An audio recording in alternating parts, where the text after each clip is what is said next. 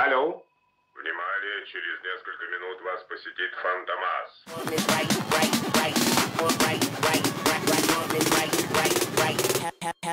Hello.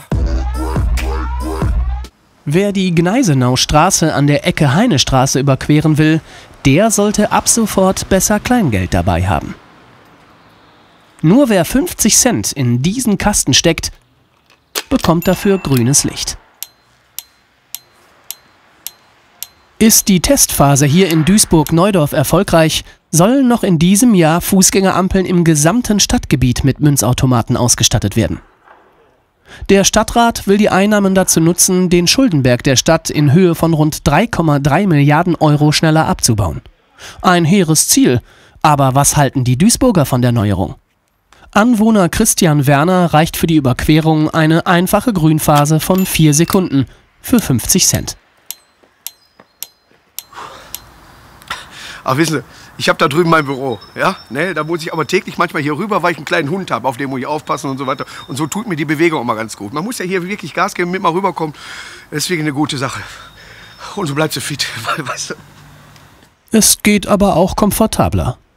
Wer nur etwas mehr investiert, nämlich einen Euro, hat satte 8 Sekunden Zeit, die Fahrbahn zu überqueren. Ich lasse es gar nicht erst drauf ankommen. Lieber ein paar Cent mehr und dafür gehe ich auf Nummer sicher. Für einen Sprint mit dem Rollator bin ich einfach zu alt. Wissen Sie? Wer sparen muss, für den bieten sich Fahrbahnüberquerungsgemeinschaften an. Man kann inzwischen von einer regelrechten Crosswalk-Sharing-Szene sprechen, die sich hier entwickelt hat. Über alle demografischen und sozialen Grenzen hinweg wird hier zusammengearbeitet. Damit hat das Projekt neben seinen finanziellen Vorteilen auch einen erfreulich großen gesellschaftlichen Nutzen. Ну, это трудно объяснить. Ну, вы имеете в виду по поводу самого столба, по поводу пешехода или по поводу столба? светофора. Вы видите светофор зеленый Но. красный? Вот Его недавно не было. То есть здесь всегда проблема была с переходами пешеходов. Если проблема, значит светофор, если зеленый горит, то в правильном направлении, э, вместе с пешеходом и вместе с дорожным, дорожным происшествием. А я считаю, мое мнение, это нормально. Да. В дальнейшем Да.